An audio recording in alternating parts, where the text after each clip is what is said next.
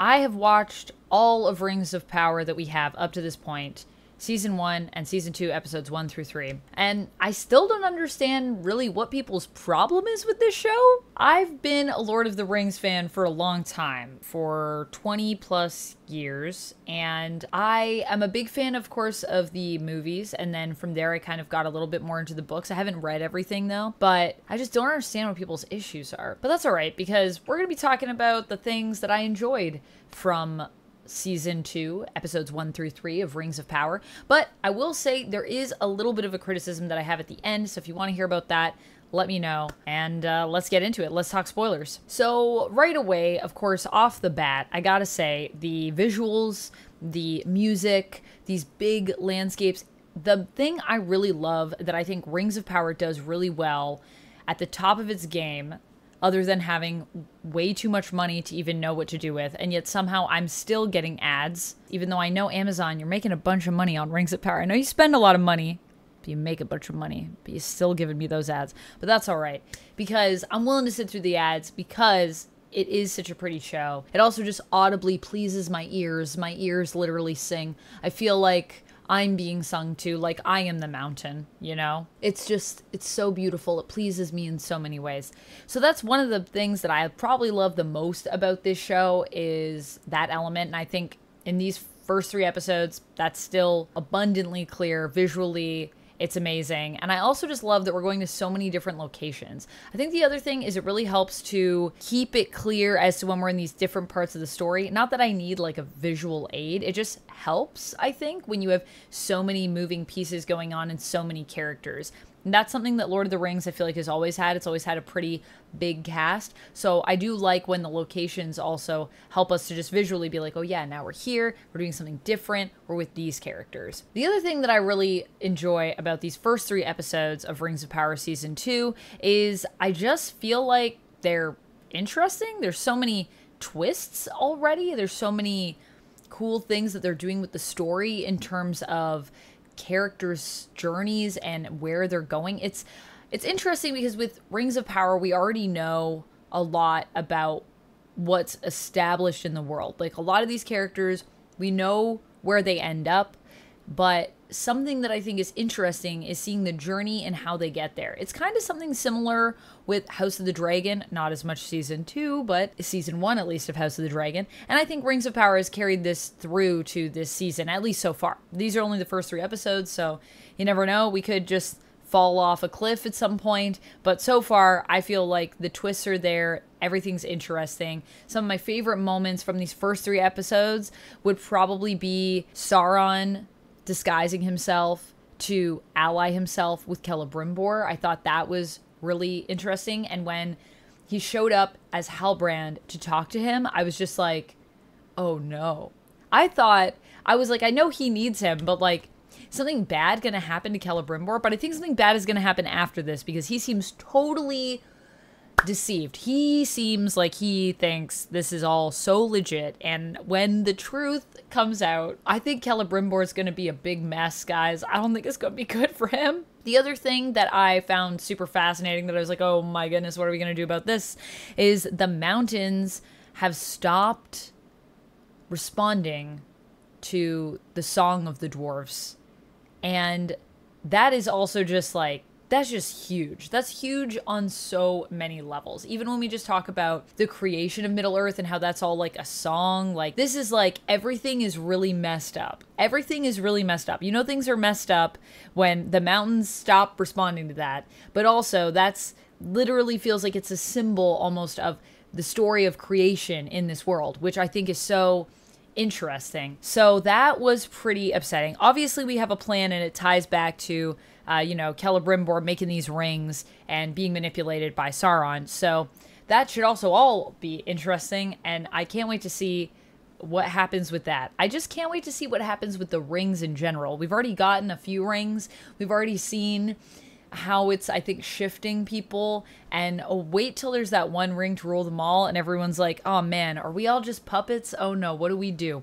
That's going to be cool to see as well. Finally, the third moment that I really loved was probably the coronation of Míriel and I was thinking that I thought I knew how it might go, and then they changed some things with it, I believe, but I kind of like it. I kind of like it. So Míriel robbed of her crown by Pharazôn, who has been scheming. He's been, you know, stirring people up. He has her exposed in front of everyone during her coronation. And then the craziest thing happens an eagle shows up. And I thought it was pretty clear based on the foreshadowing that we got that the eagle was there for Míriel. And I thought, oh wait, are we gonna how is this how is this happening? What's happening? We're doing different things, are we going down a different path?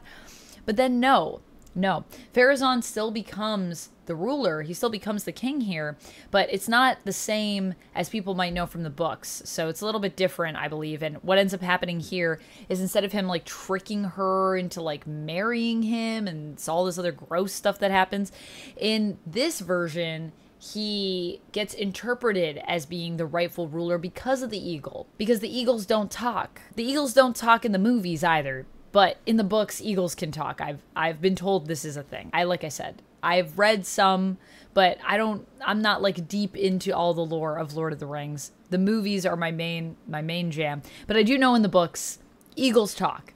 Here, they don't talk. So this eagle comes in, and people interpret that symbol how they want. And then I was like, man. The cool thing too is that, you know, I feel like we have an idea of what the eagle was there to represent but these people don't because of their perception. And I also just thought it was fascinating because it reminded me of how when we see a symbol, a symbol is made by us. So it also a lot of the time has to do with just our perspective and how we frame the symbol as to how we're going to interpret it. And that is a clear example of that happening in this show. And I just thought it was well done. And I think it's going to be for the best considering the other stuff that I I uh, I believe happens with Míriel, which is uh, pretty awful. So I think they made a good change there, but we'll see where it goes and we'll see what they do with it. I'm enjoying a lot of the relationships that we're working on so far in this. I think a few of my favorite ones are probably Galadriel and Elrond, who uh, are friends that are really struggling and kind of some frenemy vibes. I really love where we leave it off in episode three, where Elrond is put in charge of the party that Galadriel is part of, and where Galadriel's leadership role is kind of taken from her. And I'm very interested to see how she reacts to that. I think she's going to be pretty feisty. Galadriel is a character that likes to lead, and she definitely has ego, and that's like a punch right to her ego, you know what I mean? But I, I've really been enjoying the tension with them so far at the beginning of the season, and I can't wait to see where that evolves. And I hope that they become friends at the end because I do love their friendship. And, you know, Galadriel was manipulated. Okay, guys, she was manipulated. Why? Why? You're. I know it's embarrassing. It's embarrassing because my girl was trying to get Sauron, and then she found him, and she didn't even know, and he was there the whole time, and he totally, he totally messed with her head, and he's probably still in her head, like Elrond said. Like the fact that she wears the ring, that's not a good sign.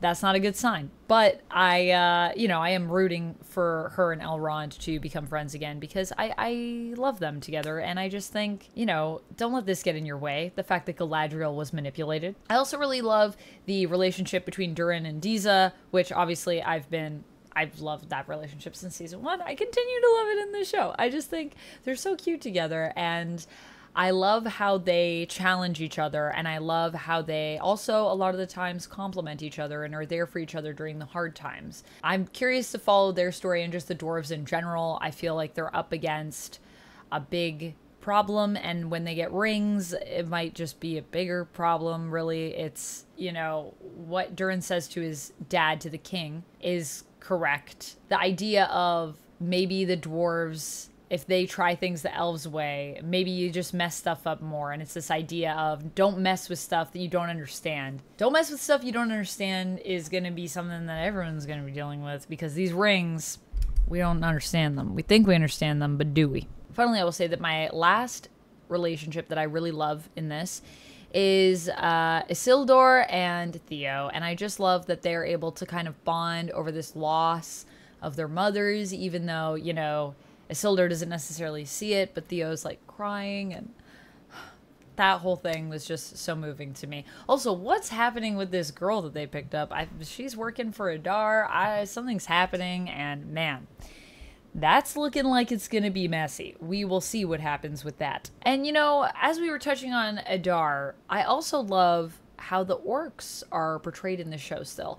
I just think it's so much more interesting what they're doing with the orcs. This idea that the orcs are a people, they just want to live their lives, but everyone thinks they're super nasty, and then Sauron just wants to like manipulate them. And I'm very curious to see how that is going to play out and how we get to where we are in Lord of the Rings with the the orcs. I just feel like they're on a journey themselves as a people and I don't know. I sometimes I just feel bad for the orcs. I'm like, man, our orcs just they're gross, but like they just want to live their lives, their weird, gross orc lives. Like it's a problem because they're like infecting everything with their nasty. But maybe we just give them some land and let them be nasty. You know, I don't know.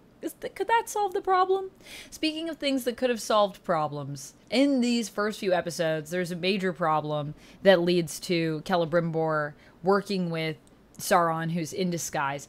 That whole thing has to do with a message is sent to Celebrimbor after the king, the Elven king, learns that, yeah, this is Halbrand with Sauron. That's all revealed. They're like, we gotta tell Celebrimbor, this is what's up. It ain't good. Don't get involved with this. This is bad news, baby. But they're not able to get it across, that message. It gets intercepted. I wonder by who. Sauron's there. He's, you know, he's trying to mess with everything. And so he plays on the fact that Celebrimbor hasn't heard anything about the rings, and that's the way he's able to connect with him and be like, Yeah, I know what it's like to be like left behind, kind of sucks. Anyways, I guess I'll leave because you don't want me here. And then he's like, Wait a minute, no, no, no, no, no, no, no, no, you can come in. Yeah, yeah, it does suck. They should they should have sent me a message. Meanwhile, they've sent you messages. You know what would solve all of that? If we had a cell phone. I feel like the studio was thinking, they could have been thinking, you know, this whole problem, we could solve it if we had one thing. I bet someone at some point was pitching, like, imagine this Rings of Power, but modern day. Look, listen to me, okay? Listen to me, baby. I got a plan. I feel like this whole thing, we could smooth it out. What if we, what if we fix everything in Rings of Power? You know, there's a lot of doom, there's a lot of gloom, there's a lot of pity parties. A lot of the people are critiquing the writing because everyone's always arguing. It's like there's some kind of big conflict happening in this show. People don't like it. So, what if we resolve it, okay? What if Hear me out. What if the king, he's got a cell phone, right? He picks up the cell phone, he calls Celebrimbor, he dials him up, and he says, Hello, Celebrimbor, are you there? Hmm, yes. I have something to tell you. Yes, Galadriel's here. She would she would like to be on the line. Hold on a second. Well, I may have done an whoops. Uh turns out Halbrand is Sauron, yes. I know, it's quite shocking. I know, I was very shocked. I didn't know, I didn't want to tell the king. It's true, she didn't want to tell me, but we made her, and so yes, and so we're just calling you. It saves time. That way we don't have to send a message, and it could maybe get intercepted by Sar. Oh wait, oh I think wait, is our call being intercepted by Sauron? Oh dear. Yeah, so it might not fix everything to be honest, because I guess Sauron could intercept probably calls too. He's got magic. But maybe some people would like the show better. I don't know. Some people seem to think it's just too miserable, I guess. I don't know. I, I, I honestly still don't know. If you're one of the people that uh, doesn't like this show, uh, let me know down in the comments. What's going on for you? Give me some give me some examples of things. I've read some articles to try to understand, but every point that's been mentioned to me, I just don't agree with it or I just don't think it's a like a I just none of these points are ringing true to me. I'm waiting for someone to point something out for me to be like, that's a good point. It hasn't happened yet. So maybe you got the good points. Maybe I'll be able to, or I'll be able to at least get it. I mean, I kind of get it, but I don't really get it. The last few things that I just wanted to say is that Berek the horse must be protected at all costs. I love his adventures, and I hope they keep going and I hope we get many years of Berek because I really enjoyed him running in to save Isildur. I thought that was so cute, and then and then Isildur came back to save him with Theo. You can't get in between a relationship. Nothing beats the relationship between a man and his horse. It's sacred. It's sacred in Middle Earth. People love horses in this show. They love them. So my final uh, point is a critique, and my critique is just this: Amazon Prime. Why you do this to me? Why you need to drop three episodes? It took me a couple days to get through these episodes because i've also been playing star wars outlaws. In fact i might even be live on my channel right now playing it. You can check it in the live tab or at twitch.tv slash vampx13 if you want to join me for a live stream sometime. But yeah i've been streaming a lot of star wars outlaws so it was really hard for me to get to this on top of that and watch three episodes. That is over three hours that is like a super that is a real Lord of the Rings level movie. Why? Why? You did this with Fallout. With Fallout, you dropped like everything. And I was like, guys, slow down. Please stop. I need time to consume this. With Rings of Power, I like to I liked I watched season 1 over the course of a few months. I took my time with it. I didn't even watch full episodes at once. I watched it in chunks I, I really cut it up and I had to watch three episodes one after the other. And I feel like the ending of episode one is strong enough to make people come back for the other episodes. But I guess Amazon Prime's like, we got too much stuff. We need to get it all out. Quick, make all of the content creators watch three hours, even though some of them maybe like to slowly consume their content and reflect on it and think about it. But I digress. So that's where I'm at with this one. Um, I think episodes one through three, let's see, out of five, I think I'm going to give episode one a four out of five. Episode two, I think I'm going to give it a, mm, I want to say like a three out of five. It just wasn't it, it was building stuff that I think really came to fruition in episode three. So maybe that's why they did these three episodes. Episode three for me was pretty good though. I would say that one was a five out of five for me. It gave me pretty much everything that I wanted from the episode, and I like what they're doing. I like some of the little changes that they're making, and I, I'm I'm confident that it's going to take us to some interesting places. So that's where I'm at that's where I'm at with this one. I hope that you enjoyed these episodes. Overall, I've been quite enjoying them, and I cannot wait to watch more. Yeah, if you guys want more episode reviews as this comes out, please do let me know. Share this video, like it, do all the things to engage with it so it boosts enough. If we get enough views on it, I might do it episode by episode. But otherwise, I'll see you guys at the end of the season where I will do an end of the season, a full season review on it. Yeah, Rings of Power. It's awesome. And you know, if we if we do go episode by episode, or if we get, if I just do a full season review, maybe, maybe I'll bust out. I've got a cosplay. I've got a, I got a Lord of the Rings cosplay I could bust out. Could be fun. I don't know. Maybe we'll do it. We'll see. I'll see you next time. But until then, friends, stay nerdy.